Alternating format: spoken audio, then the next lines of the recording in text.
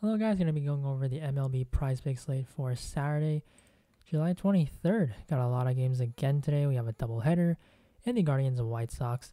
Starting off with first inning run props, there is one that stood out. Uh, Reds and Cardinals.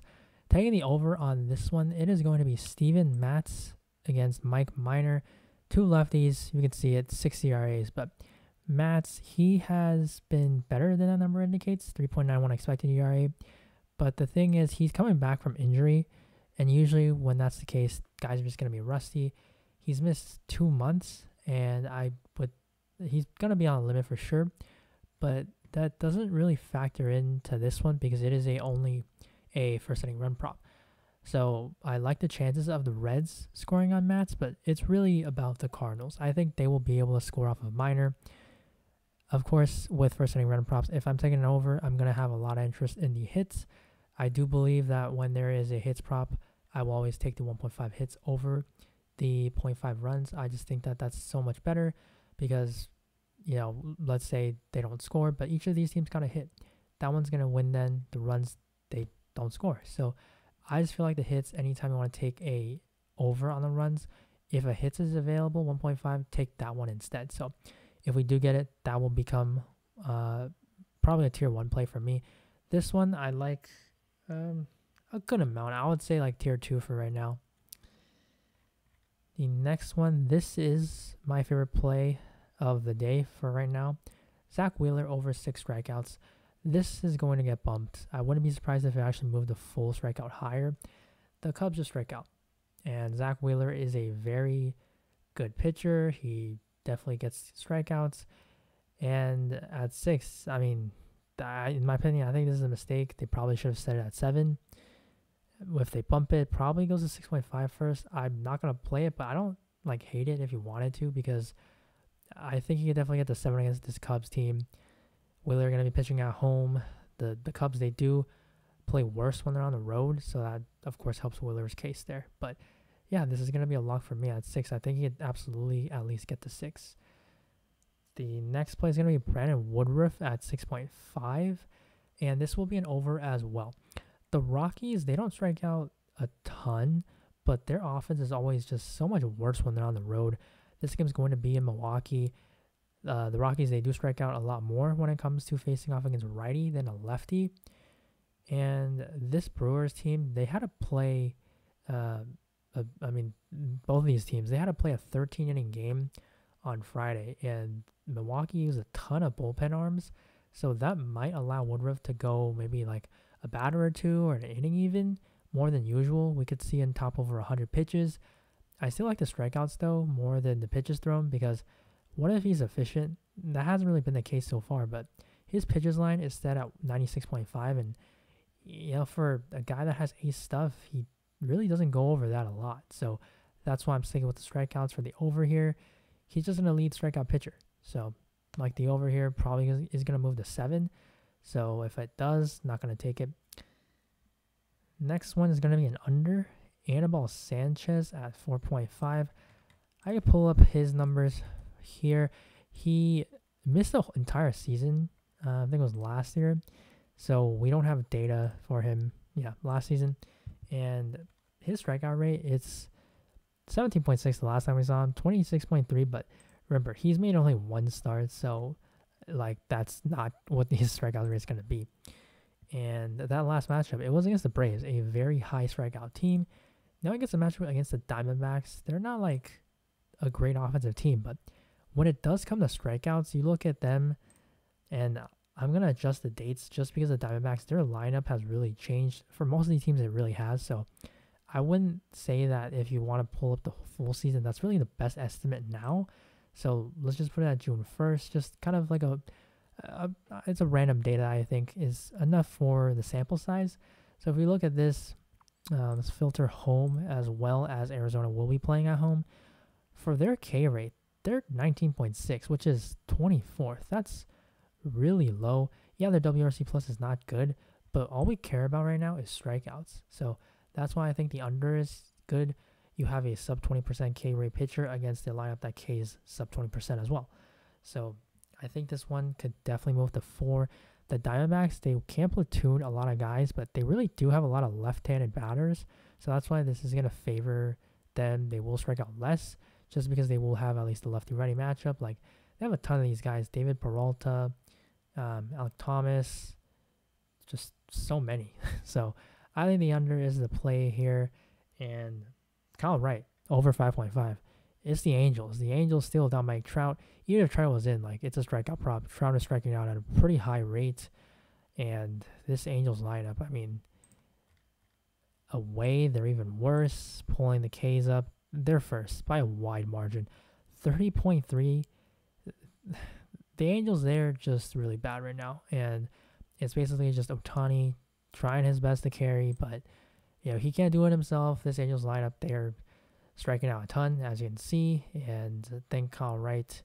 He really isn't the best strikeout pitcher if you pull up his numbers, but he has improved his percentage this season, so that's a pretty good thing to see. He's up to 23.9, very actually a substantial improvement this season. So I think you have a guy pitching at home, young pitcher, and then you have the Angels who just struggle at uh, away. So that's why I'm going with the over at 5.5.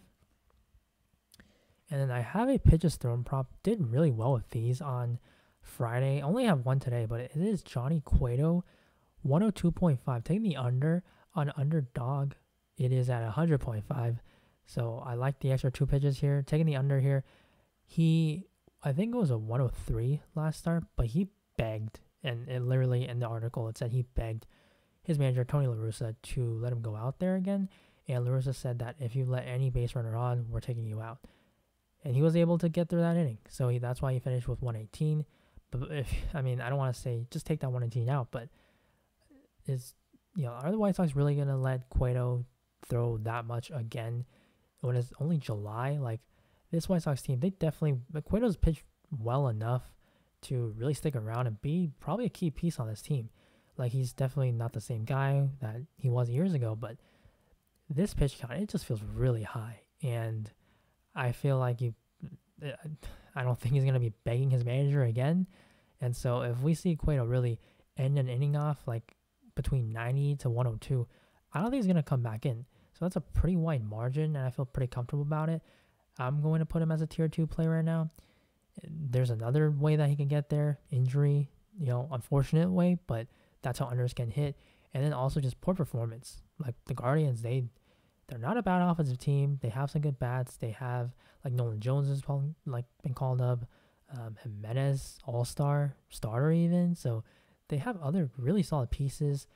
I would say the one thing is though this is a double header, so maybe you're gonna see the White Sox just like Cueto pitch a little bit more, or also the Guardians they could run a weaker lineup out there, which can obviously make things easier for Cueto. So that's why it's not gonna be a tier one, but I would say this still looks pretty good to me. Just think that this count is too high. Really, it's too much of a recency bias line, I would say, in my opinion. And again, with this game, we have Myles Straw. Like, really weird how we see him back on the board. It's been Steven Kwan, but for whatever reason, he's available for game one, and he's been the nine hole hitter. So we're getting a guy who, I mean, you really don't see ninth bat, guys that bat ninth as a hitter line here.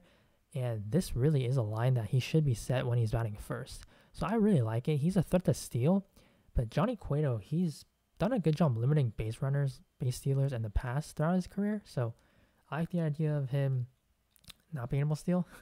And they also do have Grandal back in the lineup now, doubleheader. So we don't know if he's going to be catching, but Straw, like he's really not a good hitter. His batting average is really plummeted. That's why he's been moved out of the leadoff spot. That's why Steven Kwan's in there. So I mean, I hope Kwan plays so we don't see like Straw back in the leadoff spot. But as long as Straw is batting ninth, I do like this underplay. You're pretty much betting on him to hopefully get a stolen base, and I mean that's not something that I really like hitting. Like hitter wise, he's just really not a good hitter. So I like the under. And a total bases play. This one, if it was in Yankee Stadium, yeah, tier one, but it's in Baltimore. Judge, I mean, this is someone that it just doesn't matter what the ballpark is. He has that kind of massive power. He had two on uh, Friday. Jordan Lyles, This guy gives up a ton of power. He's not good. And Judge, he hits Lyles pitches really well. Slider, fastball. The reason why it's not a tier one play is again just the stadium, Baltimore moving those fences back in left field, really hurting right-handed power. So that's the reason for this. But I mean, it's still Judge, so that's why I'm still having as a play. And then hits and walks. There too. Nick Castellanos under 1.5 hits and walks. Taking on Marcus Stroman. Stroman really doesn't walk many guys, and one of Stroman's best or most used pitches is this slider, which Castellanos, he's really having a bad year. He's just he's not performing anywhere close to where he's been. Stroman, he has a very low walk walk rate, and for the slider again, Castellanos really struggles. Minus eight run value this season, but throughout his career, it's always been really bad for him against the slider. So that's the reason for this. And um, you got Zack Wheeler on the other side, so I would think, you know, Phillies probably only get to play eight innings, bat eight innings. That's another way that hurts the offense here. So I do like the under. Castellanos himself, he doesn't walk um, a whole lot. Like it's a 5.8 walk percent uh, walk rate. So I like the under there. And then another one's gonna be Joey Wendle, also an under. Taking on Jose Quintana. Quintana, he's not okay. Jose Quintana, um, not really someone that walks a ton of guys. Like he could, he usually hovers around one or two walks a game, but he is gonna be pitching at home, so that's gonna make things tougher for uh, Marlins offense. Pittsburgh, not a good uh, hitter's ballpark. Quintana, as you can see, walks just, you know, you see a lot of ones, a lot of twos in there. But Wendle, the thing with him is he's a lefty. Obviously, not as good when he's facing off a lefty pitcher, but he could be a DNP. Not sure about that though, because they do have Birdie, Jazz Chisholm injured, so he could still be in the lineup. And if he is also batting lower in the lineup, this looks pretty good. Uh, walk rate only 6.4%. So that is going to be an underplay for me. But if you're going to play this now without knowing the lineup, just know that it could be a DNP. For a personal play, Benintendi over against Luis Patino. Don't know how long Patino is going to throw, but Benintendi does hit his pitch as well and walks. It's also a good spot for him, uh, just the pitcher and the hitter both ways. So I like Benny here. And then for the stolen base targets, Anibal Sanchez, Lance Lynn, Logan Gilbert, Bumgarner, Steven Matz, Jordan Lyles, James Kaprielian, Gerrit Cole, Taylor Hearn, Michael Pineda, and Kyle Wright. As far as the tiers, I'm going to post this on my Twitter. Link will be in the description if you don't already follow me over there. But it's Wheeler and Woodruff as the tier one. Wheeler by far stands out over six. So that's going to be my favorite play. Also going to be writing an article. Those They're totally free once again. Going to be on DFS Army. I will post the link to it pinned into the comment section down below in the video when I do get done with it. Expect to be done within the next two hours. So thank you guys for watching. Good luck on this slate. You know, it's the weekend, Saturday, so hopefully we do continue our winning ways. Thank you guys for watching once again. Good luck on the slate, and I'll see you in the next video. Bye.